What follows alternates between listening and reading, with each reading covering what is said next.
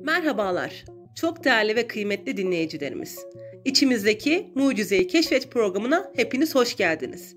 Size KADES uygulamasından bahsedeceğim. KADES nedir? İşte KADES uygulaması hakkında genel kısaca bir bilgi vereceğim. Kadına şiddetin önüne geçebilmek ve kadınlara yardım edebilmek amacıyla geliştirilen akıllı telefon uygulaması yani Kadın Acil Destek İhbar Sistemidir KADES. KADES nedir? KADES, kadınların ve çocukların maruz kaldığı şiddet, taciz gibi kötü eylemleri biraz da olsun engellemek adına kullanıcılara sunulmuş resmi bir uygulamadır. Emniyet Genel Müdürlüğü tarafından hazırlanmış ve acil durumlarda ilk aklımıza gelecek acil müdahale uygulamasıdır. KADES uygulaması KADES uygulaması son yıllarda giderek artan kadına şiddet olaylarının önüne geçebilmek ve kadınlara yardım edebilmek amacıyla geliştirilmiştir.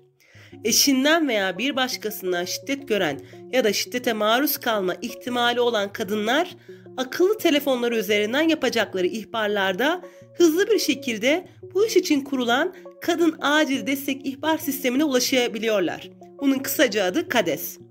Akıllı telefon kullanıcısı bir kadının Google Play Store ve Apple Store uygulamasından indireceği kadın destek uygulamasını yani KADES'i TC kimlik numarasını girerek ve sonrasında Emniyet Genel Müdürlüğü'nün serverlerinden gelen aktivasyon kodu ile aktif hale getirebileceği uygulama ve aile içi şiddet, kadına yönelik şiddet mağduru kadınların acil durumlarda cihaz konumu bilgisini açarak bir tuşla 155 polis imdat acil çağrı merkezine ulaşarak yardım çağrısının yapıldığı olay yerine en yakın ekip ve ekip veya devriyenin sevk edilerek olaya müdahalesini sağlayacakları bir uygulamadır.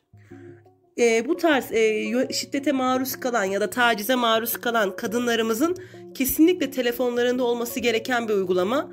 Biz bu uygulamayı çok destekliyoruz ve yani sonuçta biz kadın olarak başımıza neyin geleceğini, neyle karşılaşacağımızı bilemediğimiz için çünkü şiddet bazen aile içinden değil sokakta bile başımıza gelebiliyor. Bu uygulamayla e, çok rahat bir şekilde emniyet güçlerine ulaşabiliyoruz. İnşallah faydalı ve e, katkılı olmuştur bu yayınımız. Hepiniz hoşça kalın, sağlıcakla kalın ve dostça kalın.